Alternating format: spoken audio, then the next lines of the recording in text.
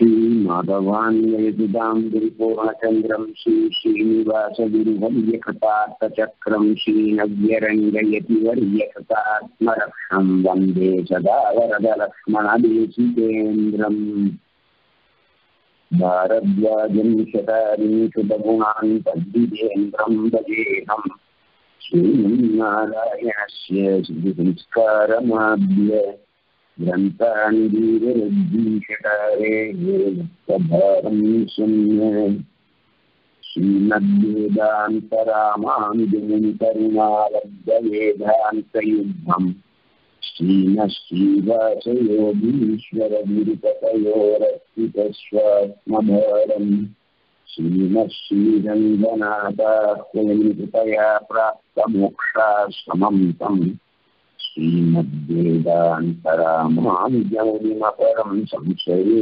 देशिकेन्द्रम् जीवनं जगतां जीयात्किमप्यदृहम् स्वतन्त्रं सर्वतन्त्रेषु एकदेशाह्वयं महः प्रणामं लक्ष्मणमुनिः प्रतिबिम्बातु मामकं प्रसादयति यत्सूक्तिः स्वाधीनपदिकांशिकम् अस्मद्गुरुपरम्परायै சுவாதிமகிமைங்கிற இந்த உபன்யாச வரிசையில் இன்றைக்கு மூன்றாவது பகுதியான இரண்டாவது ஸ்லோகத்திலிருந்து நாம் சில விஷயங்களை அனுபவிக்கிறோம் நிஷேஷமம் பரதலம் யதி பத்ரிகாஸ்ய सत्तार्णयति समेत्यमशीधरित्री वक्रासहस्रवदनः पुरुषः स्वयं चेत् नित्येतरङ्गपदि पादिभयो प्रभावः இல்ல பிரவாகா ரெண்டு பாடம் இருக்குங்க இந்த சுவாமியினுடைய பிரபாவம் அதை நான் சொல்றேன்னு ஆரம்பிச்சேன்.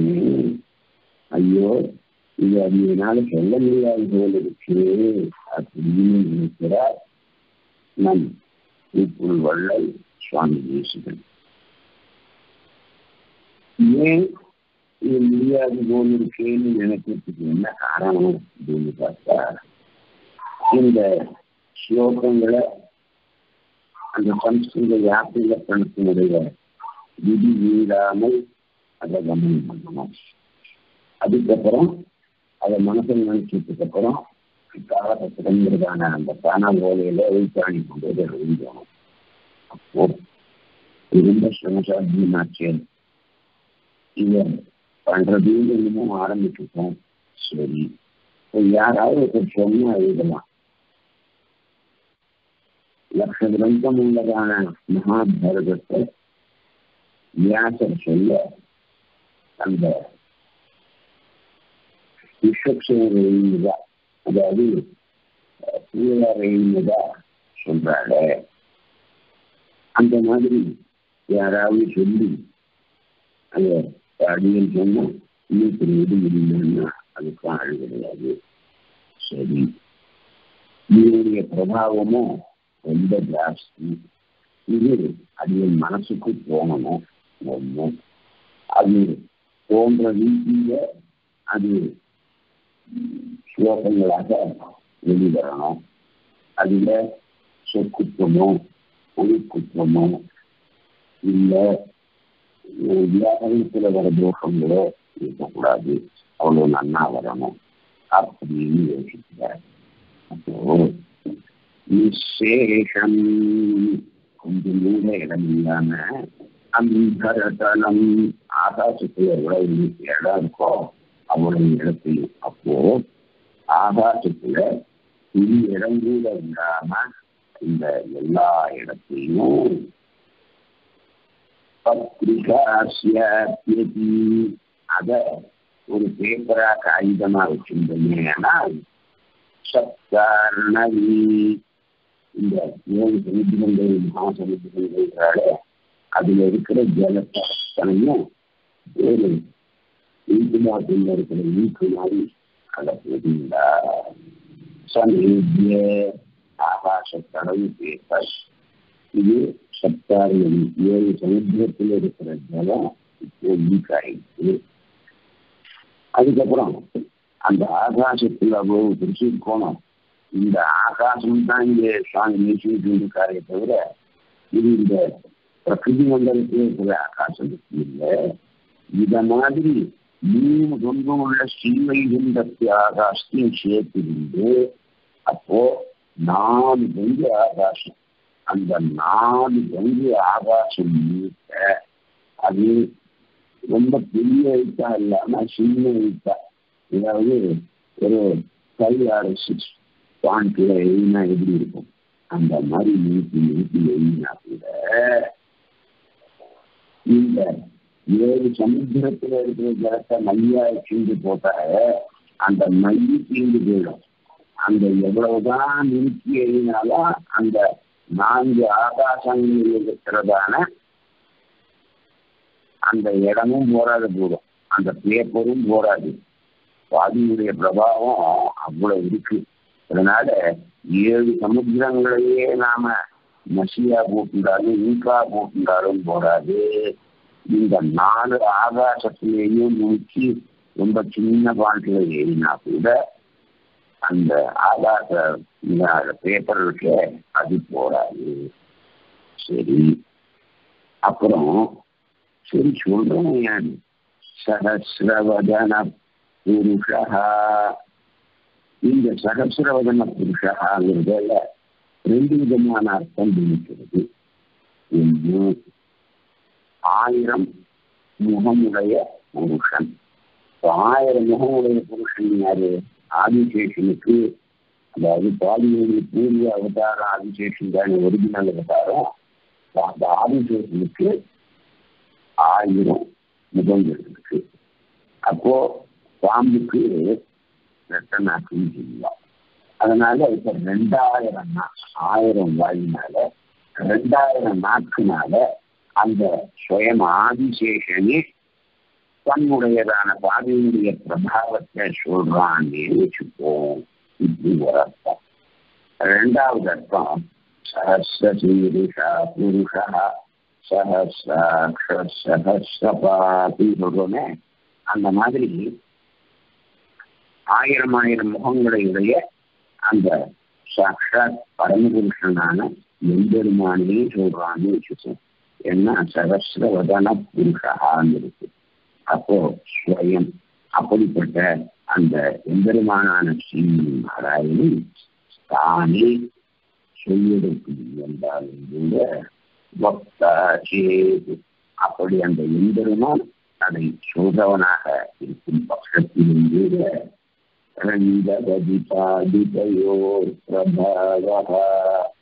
இந்த ரங்கநாதனுடைய சுவாமியினுடைய அந்த யசை கீர்த்தியை பெருமையை பிரபாவத்தை நித்தியேத ஒரு வேளை இல்லமோ என்னமோ. அப்போ அங்கேயும் கூட ஒரு விஷயம் கிடையாது அப்போ மனிதனால் தன்னுடைய ஆயிரம் ஆயிரம் முகங்களினாலும் அந்த ஆயிரம் ஆயிரம் வாய்களினாலும் அந்த பாவியுடைய மகிமையை ஒருவேளை சொல்லுவே சொல்லுவானே ஆனால் அது எழுதப்பட முடியுமோ என்னமோ தெரியாது. அப்படின்னு இந்த அந்த ஸ்லோகத்தை ஆரம்பிக்கும் போதும் சந்தேகம் தோற்றவே ஆரம்பிக்கிறார். இருக்கும் போதும் அது சந்தேகம் தோன்றதை இருக்கிறார்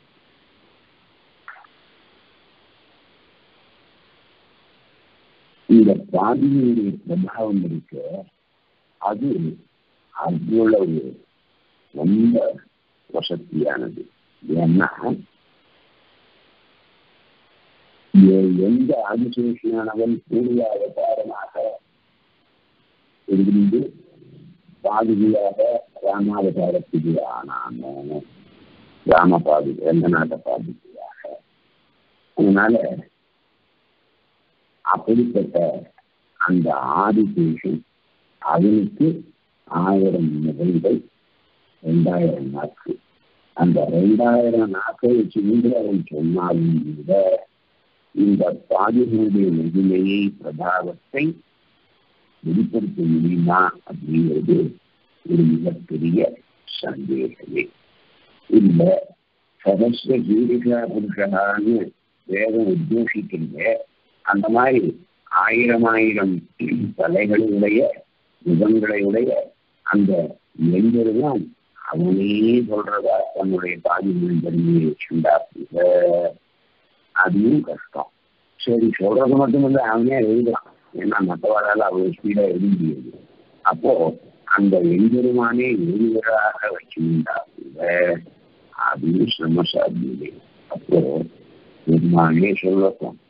பெருமாளே எழுதிருக்கும் அப்படி பெருமாள் சொல்லி அவரே அதை பிரபாவம் இந்த பாதியினுடைய பிரபாவம் அவ்வளவு பெருசு. அவ்வளவு மிக அதிகமானது. அதை எழுதி அந்த எம்பெருமானாலேயே அதை எழுதி முடிக்க முடியுமா அப்படிங்கிறது சந்தேகம்.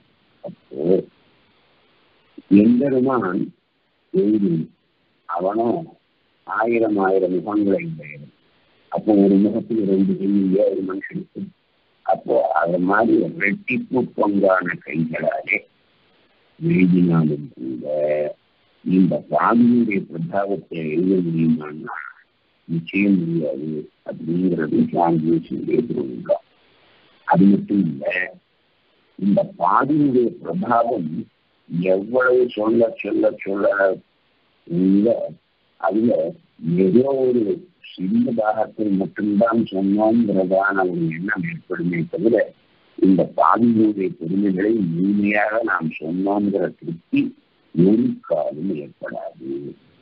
இத நினைச்ச உடனே சுவாமி தேசியனுக்கு இது நம்மளால முடியுமா அப்படிங்கிறதான ஒரு சந்தேகம் அதுக்கப்புறம் ஒரு மலைக்கு ஏற்படுறது ஒரு பிரமம் ஏற்படுறது. இன்னும் இது இல்லாத முடியுமோ அப்படிங்கிறதான ஒரு பயம் ஏற்படுறது. நீ இவ்வளவு பெருசா இருக்கே அப்படிங்கிறதுனால அதுல ஒரு சூழ்நிலை ஏற்படுறது.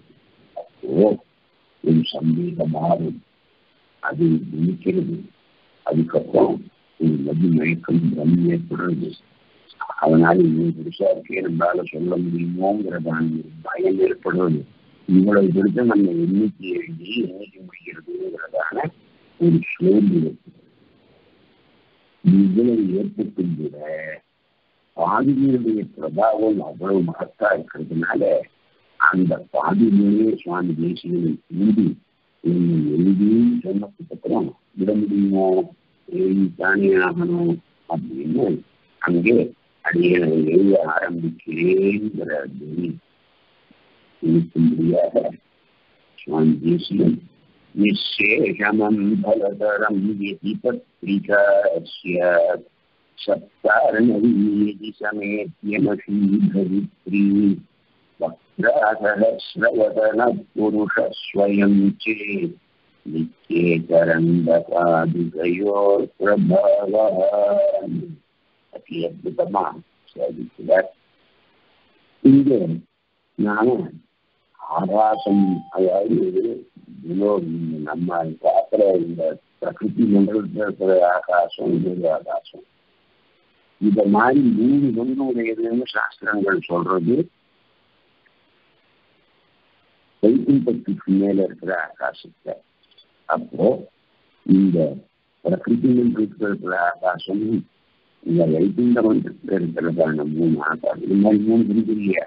அப்போ இந்த நாலு கொண்ட ஆகாசம் முழுசும் ஒரு பேப்பரா நம்ம உபயோகப்படுத்திருந்தா அப்போ அதிலேயும் ரொம்ப நீட்டி நீட்டி சின்ன சின்ன எழுத்துக்கள்ல எழுதணும்னா கூட அந்த ஏழு மகாசமுத்திரத்துல இருக்கிற ஜலங்கள் எல்லாம் அதெல்லாம் மையா வச்சுட்டு எழுதினா கூட சுவாமியுடைய பிரபாவம் அது கண்டிப்பா முடிய போறது இல்லை. சரி ஏதோ முடிய போறது இல்லைன்னா ஏதோ பத்தி அடிக்கும் தெரியாதவன் இதை பண்ணவன் ஏதாவது சொன்னான்னு சொல்றான் அப்படின்னு இல்லை. சொல்றவன் சாட்சாத் எம்பெருமானே அல்லது ஆதிசேஷனே. இப்படி எம்பெருமான் சொன்னாலும் சரி அந்த ரெண்டாயிரம் நாட்களுடைய ஆதிசேஷன் சொன்னாலும் சரி அதை இரண்டாயிரம் ஆயிரம் கைகளை உடைய அந்த எம்பெருமானே சாட்சாத் எழுதினாலும் சரி ஆதியினுடைய பிரபாவம் என்னமோ முடிய போவதில்லை அப்போ எம்பெருமானே சொல்றவனாக இருந்தாலும் எம்பெருமானே அதை லேசனம் எழுதுகிறவனாக இருந்தாலும் கூட சாதியினுடைய பிரபாவத்தை சொல்ல முடியாது இருக்க முடியாதுங்கிறதான ஒரு சந்தேகம் இருக்கு.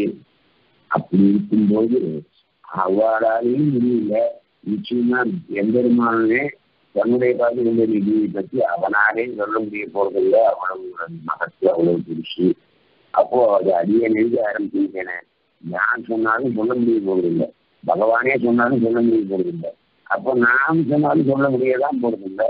அப்போ இதனால என்ன? சரி நாமளும் அதை எழுதலாம்.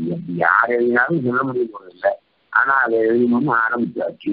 சரி நம்ம அதை படிக்கிறதுக்கும் பண்ணுவோம் அப்படிங்கிறதாக தன்னுடைய மனசை வைத்திக்கிற நம் சுவாமி தேசிகன் அப்படின்னு இந்த இரண்டாவது ஸ்லோகத்தினுடைய அர்த்தங்கள சுருக்கமான சுத்தம் அடுத்தது மூணாவது ஸ்லோகம். ஏதோ குதூகலினானி பத்ரம் विश्वम्भराशितिभवे नमदर्शिनायति यासेन यच्छमधिषूदनपादरक्षे देशक्षुषी त्वदनुभावम् वेक्षितुं नहाम् இந்த பாதுகையினுடைய பிரபாவத்தை முதன் முதல்ல உலகத்துக்கு எடுத்து காட்டினவர் யாரு அந்த உச்சிலிருந்து தோன்றியதானே பூமிக்கு காது புற்றுகள் அந்த புற்றிலிருந்து தோன்றியதாலே அவனுக்கு வால்மீகி பேர் வல்மீகத்திலிருந்து தோன்றியதனாலே அவன் வால்மீகி. அந்த பூமிங்கிறதான அதில் இருக்கிற அந்த பூமியினுடைய காதான அந்த புற்றிலிருந்து ஜனிச்சதுனாலே இறந்ததுனாலே அவருக்கு வால்மீகி பேரு இப்போ இந்த இதிகாசங்கள் இருக்கு அதற்கு பின்னும் ராமாயணம் மகாபாரதம் இரண்டு கண்களை போல அது முக்கியமானது இதிகாசங்கள். அப்புறம் புராணங்கள் பதினஞ்சு புராணங்கள்னு கணக்கு அதுக்கப்புறம் கணக்கே இல்லைன்னு சொல்றாங்க இதெல்லாம் உபபிரமணம்னு அதாவது வேதத்தை நமக்கு விளக்கி சொல்ல வந்தவைகள் அதுல இந்த வேதத்தினுடைய அர்த்தத்தை விளக்கி சொல்ல வந்த இதையெல்லாம் இது சாஸ்திரம் எப்படி சொல்றது? இதிகாச புராணாபியாம் வேதம் சமுபத்ரேதி அப்படின்னு சொல்றது. அப்போ ராமாயணம் மகாபாரதமும் ரெண்டு இதிகாசம் விஷ்ணு புராணம் பாரத மகா புராணம் இத்தியாதிகள் புராணங்கள் இந்த ரெண்டு உபபிரமணம் சொல்கிறது அதாவது வேதத்தினுடைய கருத்துக்களை நமக்கு முழுமையாக நிரூபிக்க வந்தவை அப்போ வேதத்தினுடைய ஒரு மிக பெரிய விளக்கமான அர்த்தங்களை சொல்ல வந்தது. இந்த இதிகாசமும் புராணங்களும். வால்மீகி பகவான் ராமபாரதியை எழுதினான் ராமாயணத்தை எழுதினான் இந்த ராமாயணத்தை வால்மீகியா எழுதினார்னா இல்லைன்னு பேசுகிறேன் அத எதுக்காக எழுதினான்னாக்க இந்த வேத அர்த்தங்களை நமக்கு தெரிவிக்கிறதுக்காக எழுதினார். இந்த வேதம் என்னதான் சொல்றது அப்படின்னா எல்லா வேதங்களிலுமே திருவஷ்டாட்சரத்தினுடைய மகிமையே அதனுடைய பிரபாவத்தை தான் சொல்றது. அந்த திருவஷ்டாட்சரம் எதை சொல்றதுன்னா சரணாகத்தினுடைய ஒரு ஏற்றத்தை சொல்லுது. அப்போ வேத வேதாந்தங்கள் எல்லாம் எதை சொல்றது? சரணாகதியினுடைய ஒரு மகிமையை சொல்றது. அந்த சரணாகதியினுடைய மகிமையை சொல்லுவதற்காகவே இந்த ராமாயணம் வந்தது. ராமாயணத்துக்கு சரணாகதி வேதம்னு அப்போ சரணாகதி வேதம்னு சொல்றப்படுறதா இந்த ஸ்ரீமத் ராமாயணத்தை பற்றி ஸ்காந்த புராணத்தை இருக்குது. இப்பவும் நாம நிச்சயம் ஸ்ரீமத் ராமாயணம் பாராயணம் பண்ணும்போது முதல்ல தியான ஸ்லோகமா ஜெயிக்கிறேனே வேதவேத்யே பரே பும்சி ஜாதே தசரதாத்மஜே வேத பிராச்சேதீத் சாட்சாத் ராமாயணாத்மனான் பிரசித்தமான பிரமாண வாக்கியம்.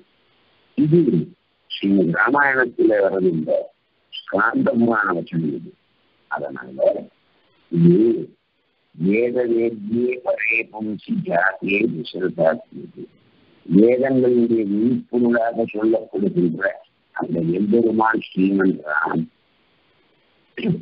ஸ்ரீமன் நாராயணன் இது விபல அவதாரத்திலே ராமனாக தசரதனுடைய மகனாக மனுஷனா தன்னை பாதிச்சு அவன் தோன்றினான் வேத பிரபேதாசி சாட்சாத் ராமாயணாத்மனா வேதம் பார்க்குது இப்போ பகவான் ஸ்ரீமன் நாராயணன் மனித உருக்கொண்டு தசரதனுக்கு புத்திரனா பிறந்துட்டான் இப்போ அவனை பத்தி சொல்றோம் அப்போ நாம என்ன பண்ணலாம்னு யோசிச்சுதான் இந்த வேதம்.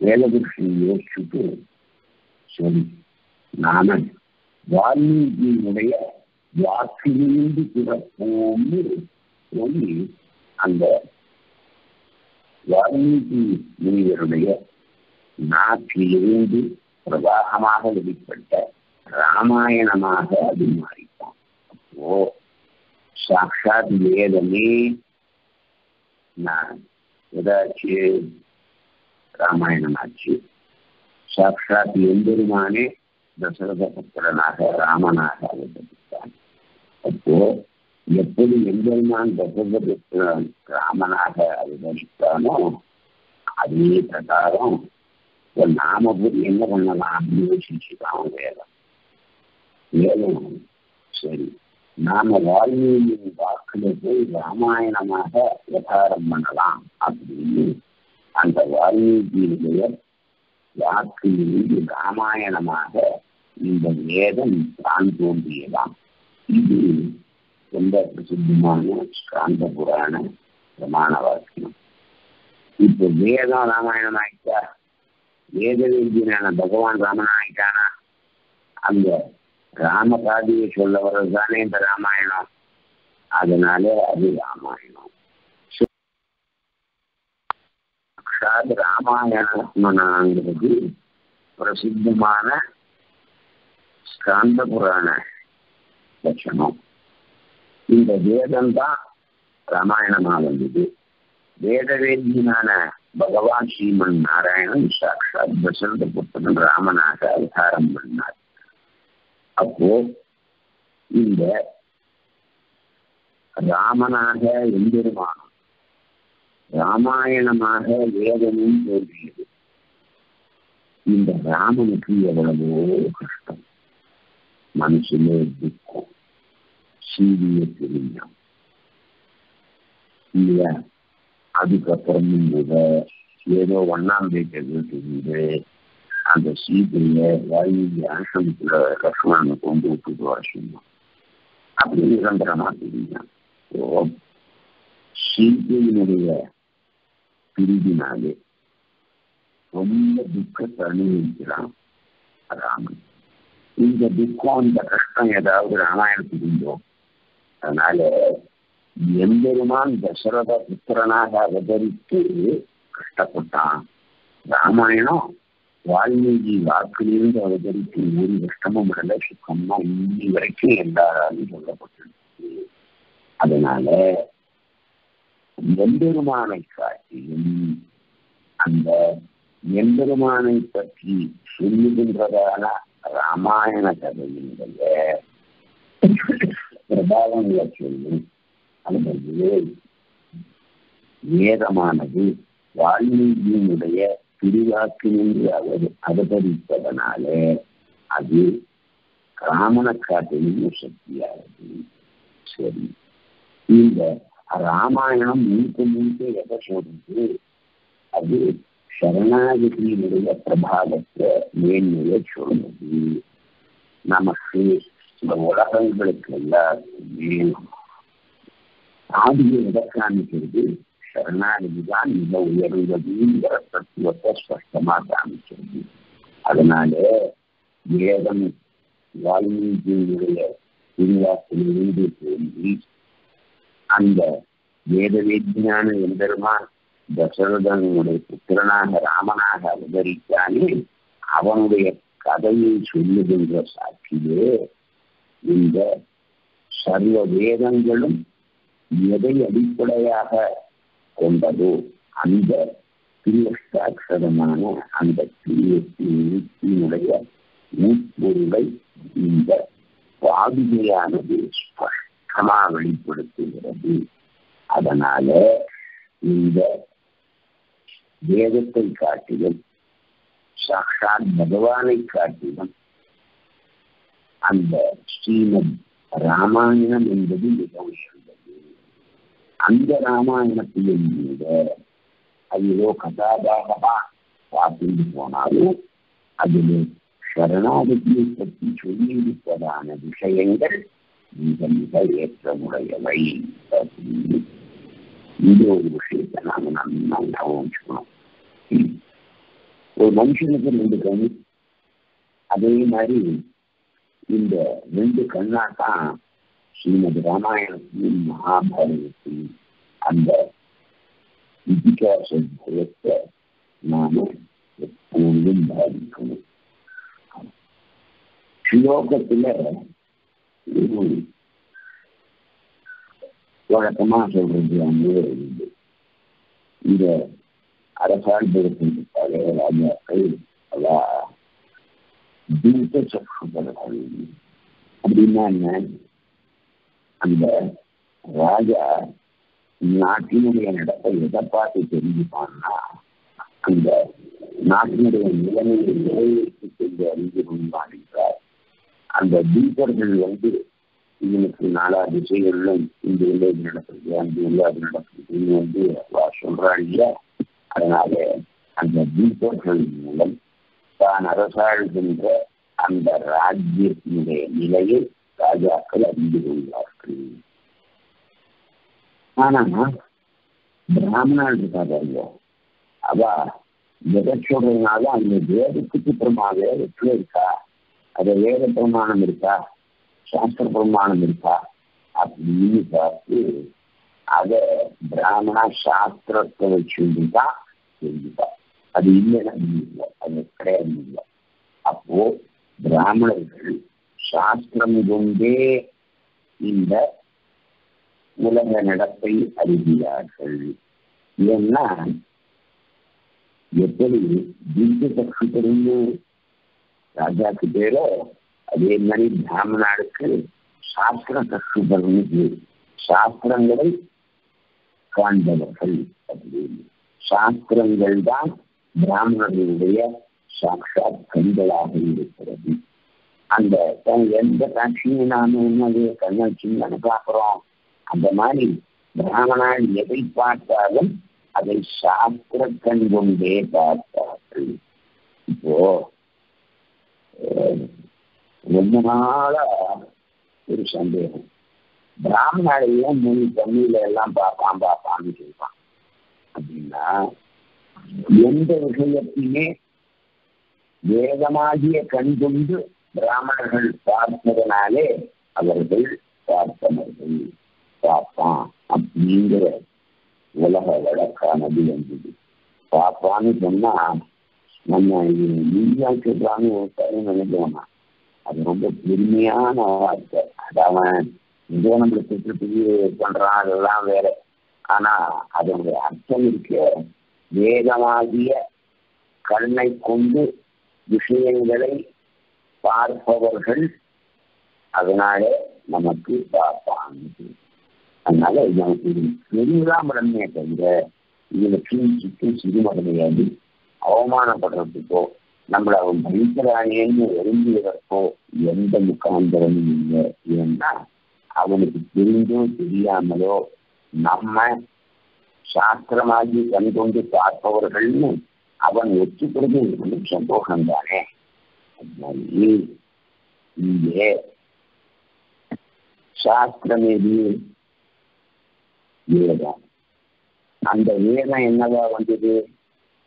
வால்மீகி வாக்கிலிருந்து இந்த வேத புருஷனே தானா ராமாயணம் ஆனா அப்போ இது பிரமாணம் நமக்கு ராமாயணம்.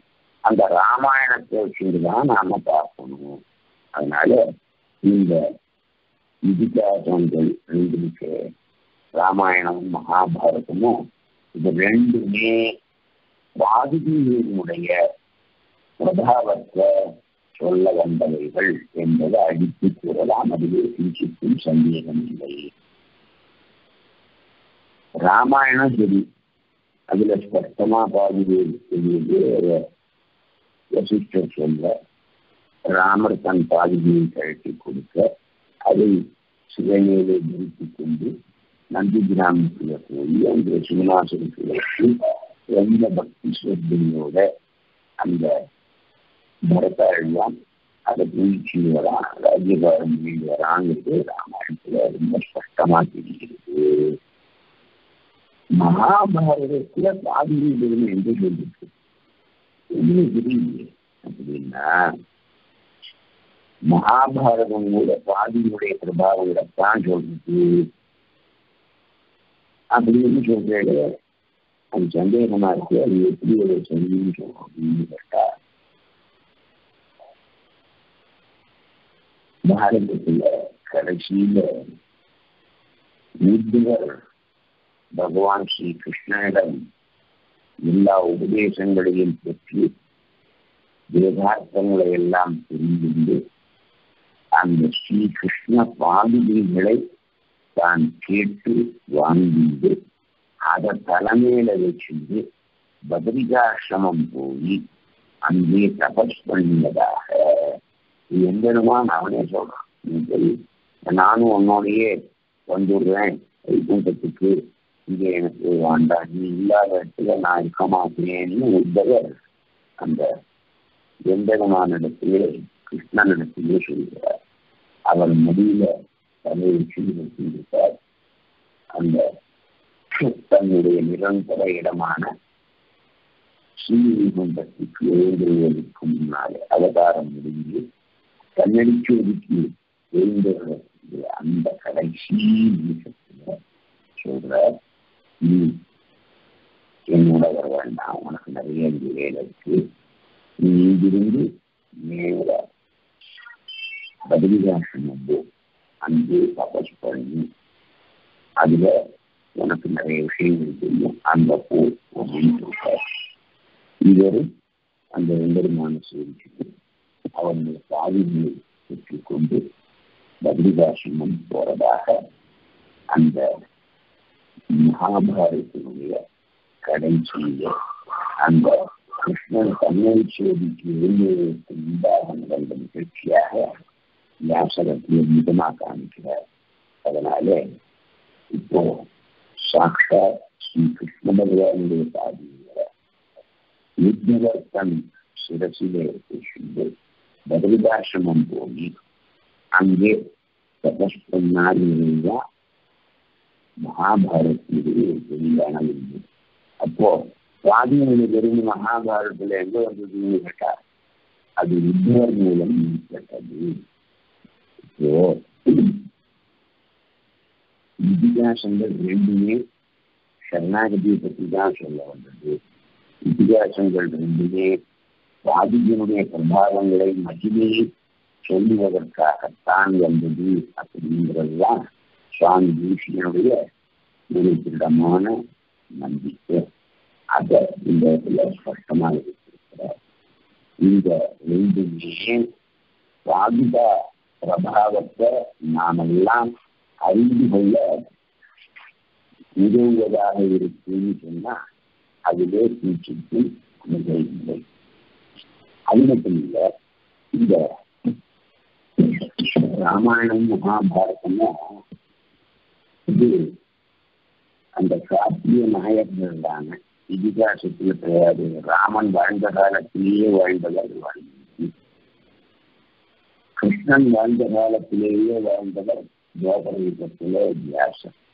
அதனால இந்த கிரந்த கர்த்தாக்கள் அந்த ராமனோட ராமனோடையோ கிருஷ்ணனோடையோ அதாவது வால்மீகி ராமனோடையோ வியாசர் கிருஷ்ணரோடையோ நேராக அளவிடாத நிறைய சந்தர்ப்பங்கள் வந்திருக்கு. அதையும் பார்த்தோம். அந்த இதிகாசங்கள்ல. அப்படி நாம பார்க்கும்போது இந்த கான்டெம்பரேரியன் சொல்றாரு. அதாவது யாரோ ஒருத்தர் சொல்றத பார்த்து பாப்பான் பாப்பான்னு சொன்னமோ அதனால சாட்சாத்தா தன் கண்களாலேயும் வால்மீகி ராமனையும் வியாசர் கிருஷ்ணனையும் பார்த்து எழுதியதனாலே இது அப்போ இது ஏன் பிராமணாளுக்கு ரெண்டு கண்ணுன்னு சொல்றாருன்னா கண்ணு மூலி கண்ணு மூலமா தானே பாக்குறோம் அப்போ ஒரு காட்சி நமக்கு தெரியறதுன்னா அது நம்மளுடைய கண்களால் தானே தெரியறது. அப்ப பிராமனுடைய ரெண்டு கண் எது? இந்த இரண்டு இதிகாசங்களான ராமாயணமும் மகாபாரதமும். இந்த ராமாயணம் மற்றும் மகாபாரதம் எதை சொல்றது அப்படின்னா அது வால்மீகியா இருக்கட்டும் வியாசரா இருக்கட்டும் அவ இந்த வாதியினுடைய பெருமையை உலகத்திற்கு பறைசாற்றவே தங்களினுடைய ராமாயணத்தையும் மகாபாரதத்தையும் இயக்கியவர்கள் அப்படின்னு சொன்னால் அதில் எந்த விதமான சந்தேகமும் இருக்க முடியாது. ஓ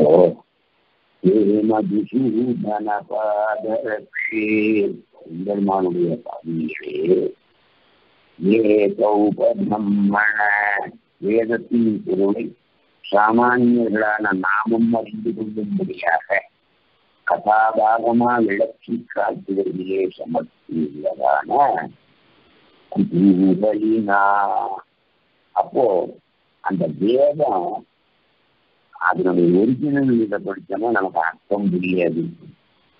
நம்ம நம்ம எப்போதும் எங்கேயோ தூண்டும் மாத்திரையில தூண்டும் அக்ஷரத்தை புண்ணணும்னு கவனமா அந்த அர்த்தம் பக்கமே போகாது. நம்ம மனசு ஏதாவது போது இந்த பாராயணம் பண்ணும்போது கூட.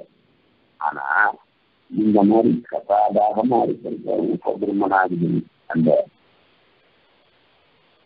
இதிகாச புராணாதிகளை நாம் நம்பும்போது அந்த வேதத்தினுடைய ஒரு நமக்கு ஸ்பஷ்டமா தெரியுது அதனாலே ஒரு சந்தோஷத்தை இருக்கிறோம் அதனாலதான் குட்டினா அப்புறம் விஸ்வம்பர விஸ்வம்பரான். ஸ்ருதி மகர்ஷினா விஸ்வம்பர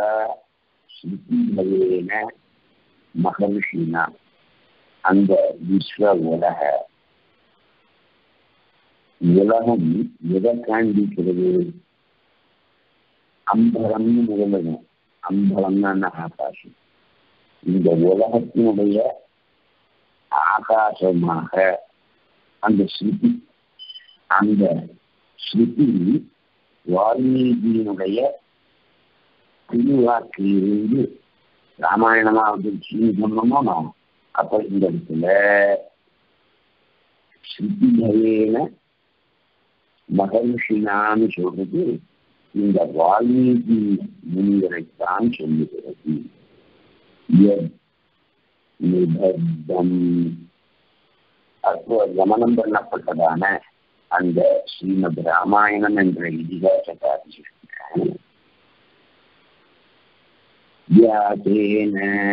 இதே மாதிரி இந்த பாதியினுடைய பெருமையை உலகறிய செய்ய வேணும்னு ஆசைப்பட்டவனான அந்த வியாசன் முனிவருடைய அந்த மகாபாரதம் என்ன? எச்ச இதம்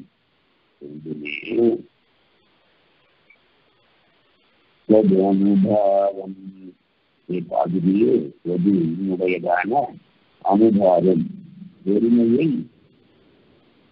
அது க்ஷிக்கும் அத நாங்கள்லாம் பார்த்து தெரிஞ்சுக்கிறதுக்காக மகா அப்படிங்களுக்கு தேசக்ஷுஷி இரண்டு கண்களாக